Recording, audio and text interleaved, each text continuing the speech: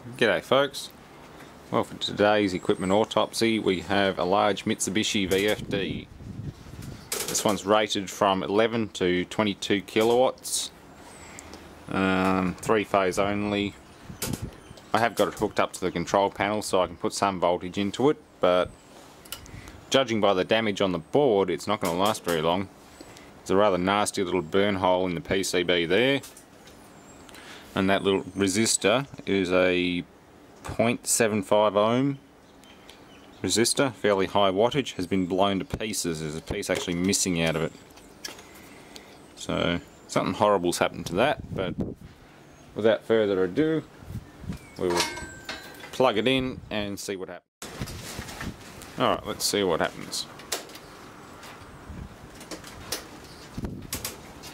Nothing much indicator lamps on.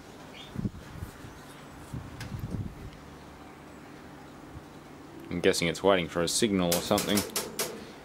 LED readout hasn't lit up, none of that's lit up. Yeah, he went pop in a fairly big way. Cap bank's holding charge though. That's switched off and LED's staying on, so these big chunky capacitors are charged that's for sure. So we'll be careful and carefully take it apart. Make sure the capacitors are discharged first. Uh, not too sure what model this drive is. At the board part number, but I think the 700 series or something. Got a fair control board on it. It's got Firewire, oh, Ethernet. Can't remember what that is, but I think a lot of printers and things have it on it. That looks like the connector from my old video camera. There's a 3 pin connector there, and a 2 pin connector there, so God knows what they can do with this drive. I've, it's probably quite more advanced than anything else I've been playing with. I'm still holding charge. Um, yeah, it's just one heavy duty 22 kilowatt Mitsubishi VFD. Metal can there with something in it. Probably a brake resistor or something. Looks like it's attached to the heatsink, so I'm guessing it's a brake resistor. Yeah. Oh, I'll get the screwdriver out and pull these control boards off after discharging the cap bank. Assuming I can get to it. Oh yeah get to the tops of the caps and short them out and then uh, we'll go from there. Pull this thing to pieces. I don't have the front panel or anything for it so that's why I can't tell you what model it is. That's all missing. And since the control board's burned out this one's as good as dead. So it's a equipment autopsy. Okay well the main board's out. You can see where the uh, burnout has occurred. It's blown those traces apart on both sides and blown that resistor apart so that one's toast. The rest of the drive not sure. That looks like okay it's coming off the mains input. That's the three-phase rectifier pack it's all in one. It has might be a um, big SCR pack. It looks like it's got a gate on it. Yeah it does. There's a gate. There's AC 1, 2 and 3 DC in two phases and there's a gate and there's also a base is it? No. R4 what's R4? Oh resistor. Okay. Resistor across one or DC silicon together. I'll pull it out and find out. It's a big SCR pack by the looks of it that one there not too sure. It's got three phase wires coming out and going to there. Is that part of it too? I don't know. I better strip this thing down because there's still three IGBT bricks in there which is normal. But these other packs I'm not too sure. I'm thinking there are uh, one's a rectifier and the other one I don't know what that little one is. But we'll pull it to bits and find out. There's also big polyfilm caps in there too. They're all glued in but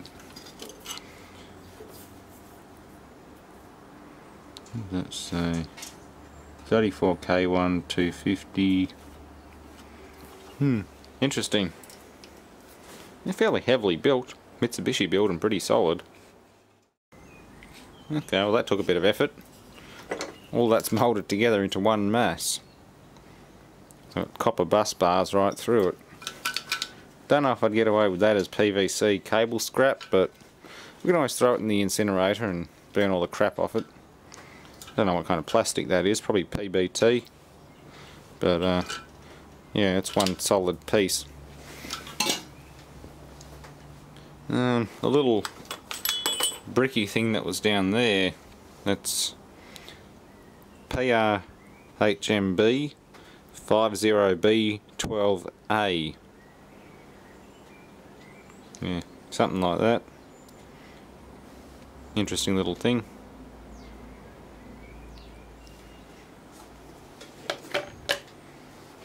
Um, control board came off easy enough. God knows why you need Ethernet and, and uh, Firewire interface on something like this.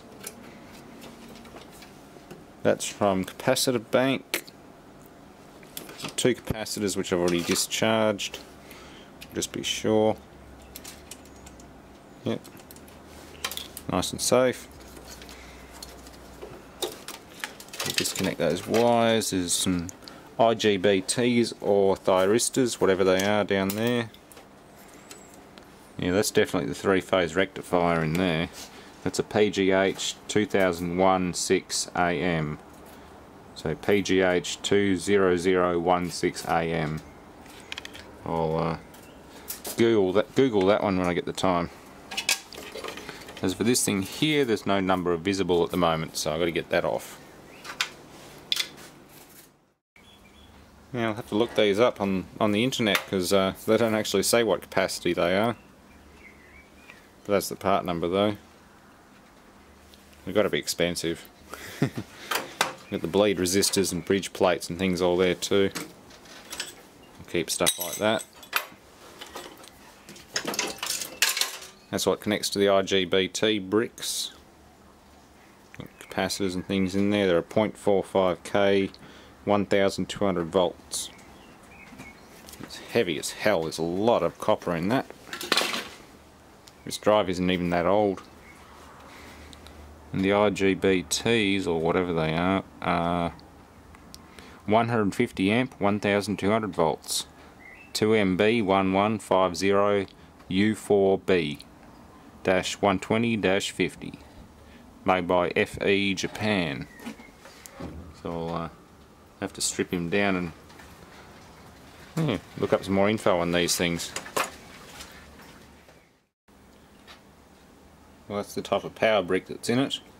I'm going to leave them attached to the heatsink and just store it as it is.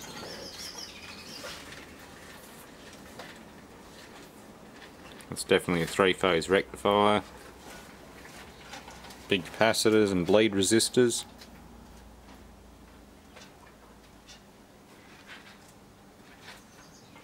and uh, make sure to keep all the screws and attachment leads and things. Might be able to use this, this as a pre-charge and discharge unit for the big capacitor bank that I have. I'll just look up the trigger voltage or the trigger rating of these. Uh, it says 150 amps but I want to trigger a lot more than that so I might be able to use these lower voltage units to trigger the bigger ones. Who knows. I don't have all that much experience with big high voltage stuff, but it's always good fun to learn. The rest of this thing is just a big heat sink. So that's the end of that autopsy. Oh yeah, that thing there, yeah, 29k 80 watt resistor. It's like a braking resistor.